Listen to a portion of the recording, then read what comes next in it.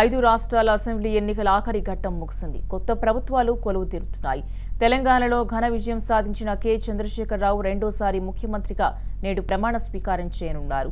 మిజోరాంలో కాంగ్రెస్ పై జయభేరీ మోగించిన మిజో నేషనల్ ఫ్రంట్ అధినేత జోరందగా ఆ రాష్ట్ర ముఖ్యమంత్రిగా శనివారం ప్రమాణ స్వీకారం చేయనున్నారు. రాజస్థాన్ మధ్యప్రదేశ్ ఛత్తీస్గఢ్లలో బీజేపీని మట్టి కరిపించిన కాంగ్రెస్ పార్టీ ఆయా రాష్ట్రాల్లో కొత్త ప్రభుత్వాల ఏర్పాటులో తలమునకలవుతోంది. జాతీయ రాజకీయాల్లో అత్యంత కీలకమైన ఈ రాష్ట్రాల్లో ముఖ్యమంత్రి పీఠం ఎక్కేది ఎవరనే విషయంపై ఉత్కంఠ కొనసాగుతోంది. రాజస్థాన్లో సీనియర్ నేత అశోక్ గెహ్లాట్ యువనేత సచిన్ పైలట్ మధ్యప్రదేశ్లో సీనియర్ నాయకులు కమల్నాథ్ యువనేత జ్యోతిరాదిత్య సింధియా మధ్య తీవ్ర పోటీ నెలకొంది. ముఖ్యమంత్రుల ఎంపిక బాధ్యతను పార్టీ అధినేత రాహుల్ గాంధీకి అప్పగిస్తూ ఆయా రాష్ట్రాల కాంగ్రెస్ శాసనసభాపక్ష సమావేశాల్లో తీర్మానం చేశారు. దీంతో బంతి రాహుల్ కోర్టులో పడింది.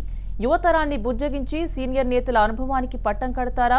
లేదా సీనియర్లకు నచ్చజెప్పి యువతరాన్ని ప్రోత్సహిస్తారా? అన్నది సర్వత్రా ఆసక్తి నెలకొంది. మధ్యప్రదేశ్లో ఎట్టకేలకు బీఎస్పీ ఎస్పీ మద్దతుతో ప్రభుత్వ ఏర్పాటుకు కాంగ్రెస్కు లైన్ క్లియర్ అయింది.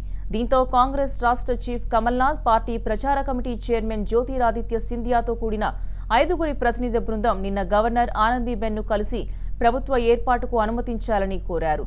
అయితే సీఎంగా ఎవరు ప్రమాణ స్వీకారం చేస్తారనేది మాత్రం ఎటూ తేలలేదు. సీనియర్ నేత కమల్నాథ్ యువనేత జ్యోతిరాదిత్య సింధియా ముఖ్యమంత్రి రేసులో ఉన్నారు. రాష్ట్రంలో బీజేపీకి కూడా ఎక్కువ స్థానాలు దక్కడంతో భవిష్యత్తులో ఇరకాటంలో పడకుండా ఉండేందుకు సీనియర్ నాయకునికే పగ్గాలు అప్పగించాలని కాంగ్రెస్ హైకమాండ్ భావిస్తున్నట్టు తెలుస్తోంది. ఈ లెక్కన చూస్తే సీనియర్ అయిన కమల్నాథ్కే ఎక్కువ అవకాశాలు ఉన్నాయి.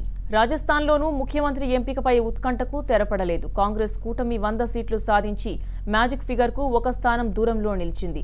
కానీ బీఎస్పీ మద్దతు ప్రకటించడం కాంగ్రెస్ రెబల్స్ తిరిగి సొంత గూటికి చేరేందుకు మొగ్గు చూపడంతో ప్రభుత్వ ఏర్పాటుకు అవాంతరాలేమీ లేవు. ముఖ్యమంత్రి రేసులో కాంగ్రెస్ రాష్ట్ర చీఫ్ యువనేత సచిన్ పైలట్ మాజీ ముఖ్యమంత్రి సీనియర్ నేత అశోక్ గెహ్లాట్ ఉన్నారు. ఎగ్జిట్ పోల్స్ అంచనాలను తలకిందులు చేస్తూ ఛత్తీస్గఢ్లో కాంగ్రెస్ ఘన విజయం సాధించింది. అయితే రాష్ట్రానికి కాబోయే ముఖ్యమంత్రి ఎవరన్న దానిపై సర్వత్రా ఉత్కంఠ నెలకొంది.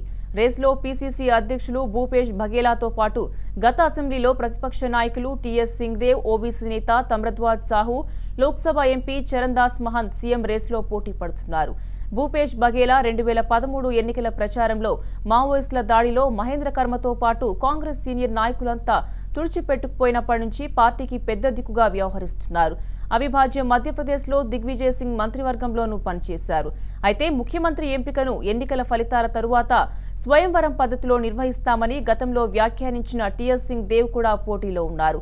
వీరితో పాటు ఓబీసీ నాయకుడిగా పేరున్న తమ్రద్వాజ్ సాహు రెండు వేల పద్నాలుగులో మోడీ చరిష్మాను తట్టుకొని రాష్ట్రం నుంచి గెలిచిన ఏకైక ఎంపీ చరణ్దాస్ కూడా సీఎం కుర్చీపై కన్నేశారు.